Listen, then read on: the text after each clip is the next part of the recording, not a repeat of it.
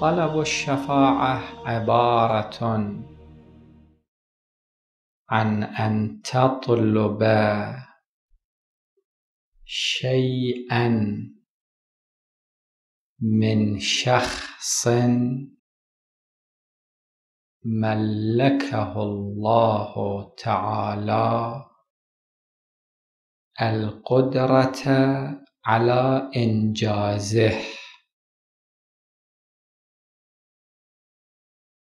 الله تعالى ملك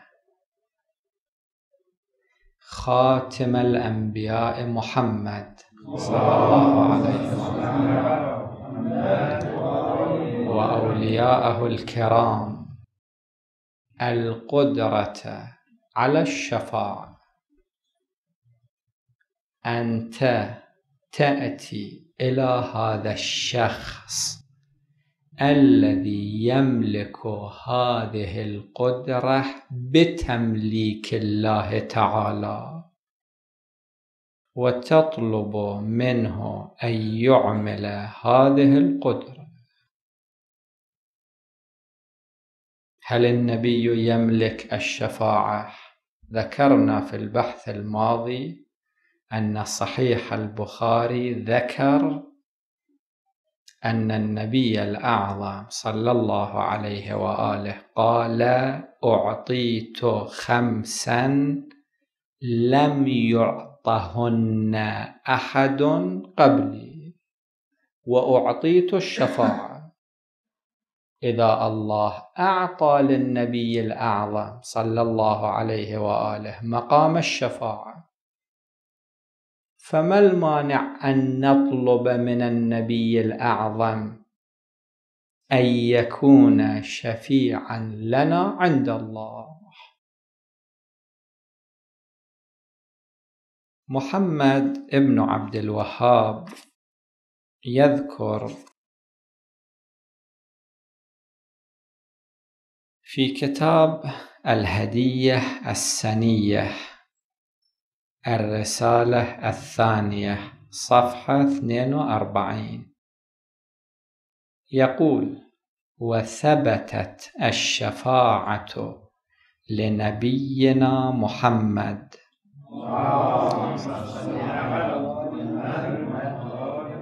يوم القيامة.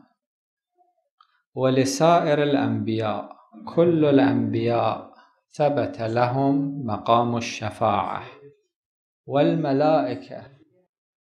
الملائكة يملكون هذا المقام. والأولياء والأطفال. الأطفال لم يملكون هذا المقام. حسب ما ورد.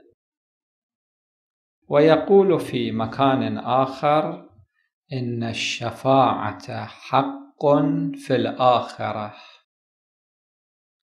ووجب على كل مسلم الإيمان بشفاعته يعني شفاعة النبي الأعظم صلى الله عليه وآله بل وغيره من الشفعاء. فالقضية كما تبدو قضية واضحة جدا.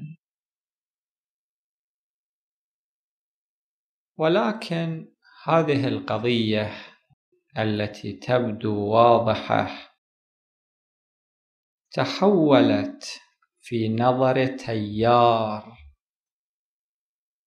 من التيارات الفاعلة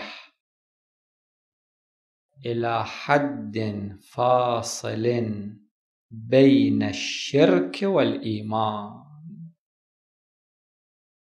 الذي يخاطب النبي الأعظم صلى الله عليه وآله. في نظر هذه الفرقة وفي نظر هذه الفئة الذي يخاطبه ويقول يا نبي الله اشفع لنا عند الله فهو كافر فورا.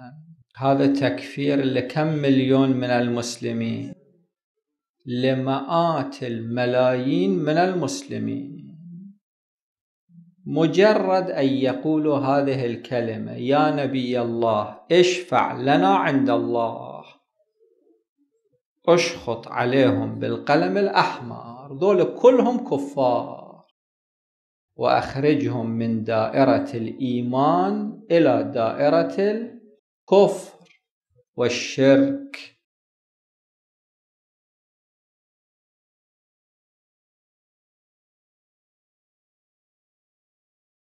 هل القضية مجرد تكفير؟ التكفير قضية عظيمة عند الله سبحانه وتعالى أن تقول لمن يتشهد الشهادتين إنه كافر هل القضية مجرد تكفير نظري؟ لا وإنما هذا التكفير النظري يتحول إلى واقع خارجي. تعلمون كم واحد قتل في العراق إلى الآن منذ سقوط البعثيين؟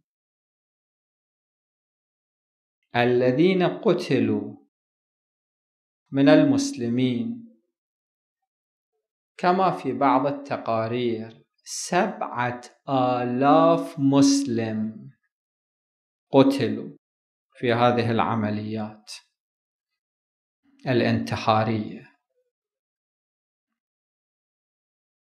ضميرك لا يطاوعك على أن تقتل نملة. إذا واحد عنده وجدان إذا واحد عنده ضمير ليش تقتل نملة؟ لا أن تقتل نملة. أن تسلب من فم نملة جلب شعيرة واقعا ضميرك يطاوعك على ذلك. أن تخيف نملة. تخوفها. ضميرك يطاوعك على ذلك. ولكن أن يأتي جماعة ويقتلوا سبعة آلاف مسلم في العراق وحدها. ويجرح كما في هذا التقرير عشرين ألف واحد. وكم قتلوا من القوات الأجنبية الكافرة؟ ألف وخمسمائة واحد فقط. هذه الأعمال لها جذور. يمكن يكون لها عشرين عامل وإحدى هذه العوامل الفكر التكفيري. هذه القضية في العراق في أفغان في باكستان في مناطق أخرى. بقية المناطق أيضا مرشحة. هذا الفكر التكفيري ينتهي إلى واقع خارجيه